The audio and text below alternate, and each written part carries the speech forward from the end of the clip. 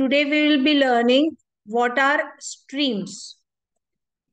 So uh, जब भी हम इनपुट या आउटपुट पे वर्क करेंगे whenever we will work with Java either input और output that is a like we write ना import space java dot io dot star so in that package when i write java dot io indicates what i'll be using or working with uh, java stream that is responsible for input and output. Okay? So how it works how it allows to have the input as well as output in the stream pattern. So while we have this uh, three, uh, you can say, operations for reading or writing the stream. First, open that stream, read the information, then close the stream. Or while, while writing the uh, values through stream, we need to open the stream, write the information and close that stream.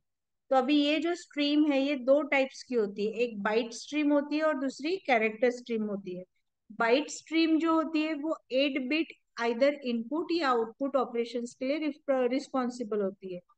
जैसे एक एक bite instruction या information वो pass on करेगा।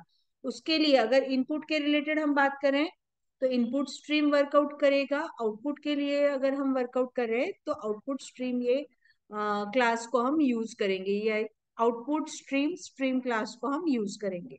ठीक है? तो पहले हम इनपुट स्ट्रीम क्लास देखते हैं। uh, हम लोगों ने बफर्ड रीडर क्लास का एक ऑब्जेक्ट क्रिएट किया था। तो आपको याद होगा बफर्ड रीडर क्लास का object equals to new buffered reader class का कंस्ट्रक्टर उस कंस्ट्रक्टर के हम, अंदर हमने इनपुट स्ट्रीम जो क्लास था उसका भी ऑब्जेक्ट क्रिएट किया था। तो वो जो इनपुट स्ट्रीम क्लास है वो क्या रिस्पॉन्सिबिलिटी लेता है वो अभी हम यहाँ पे देखेंगे। Okay so input stream class is used to read the data which is in a byte or a array of bytes and uh, this input can be read from either directly from memory or uh, from variable or from a string or from a file so uh, इसके लिए आपको input stream को open भी करना रहेगा and after that work is done you will have to close the uh, stream after the data is being inputted. Okay? So how the things work we'll see that. See in input stream we have to work with either data input stream buffered input stream filter input stream uh, file input stream byte array input stream. So see uh, there are so many varieties of input stream classes which can be used under input stream. Okay?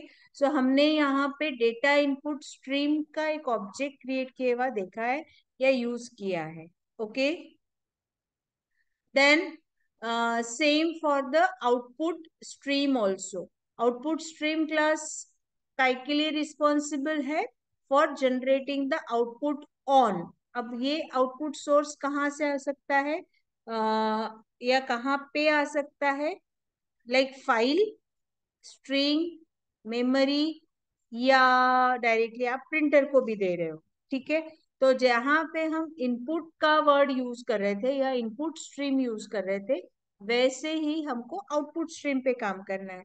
तो पहले हम क्या करेंगे? Input output stream को open करेंगे। जहाँ पे वो कंटेंट्स लिखना है, उसके लिए वो कंटेंट्स को पास ऑन करेंगे और काम होने के बाद में वो एक्सप्लिसिटली क्लोज होगा। ठीक है? तो जैसे इनपुट स्ट्रीम की एक हायरार्की थी, वैसे ही आउटपुट स्ट्रीम की एक हायरार्की है। जैसे for example byte array output stream file output stream object output stream filter output stream pipe output stream buffered output stream and print stream data output stream ठीक है? So अब हमारे पास जब भी हम आउटपुट स्ट्रीम या इनपुट स्ट्रीम यूज़ करते हैं तो अगर हम स्टैंडर्ड इनपुट ले रहे हैं तो आपने ये ऑब्ज़र्व किया होगा, हमने सिस्टम डॉट इन लिखा था राइट right? यूज़र से जब भी यूज़ इनपुट लिया है what we have written system dot in जब हम यूज़र कहीं पे आउटपुट देता है कंसोल हो फ़ाइल हो तो वहाँ पे हम क्या करें we are generating the output system dot out dot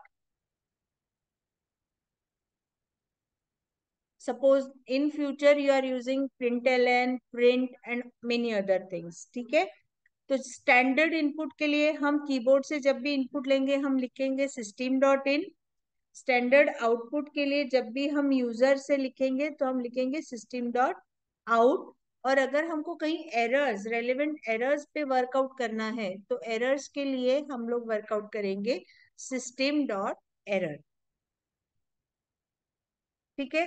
तो यहाँ पे आपकी ये फ़र्स्ट यूनिट की असाइनमेंट क्वेश्चंस हैं। And here we are completing with the first unit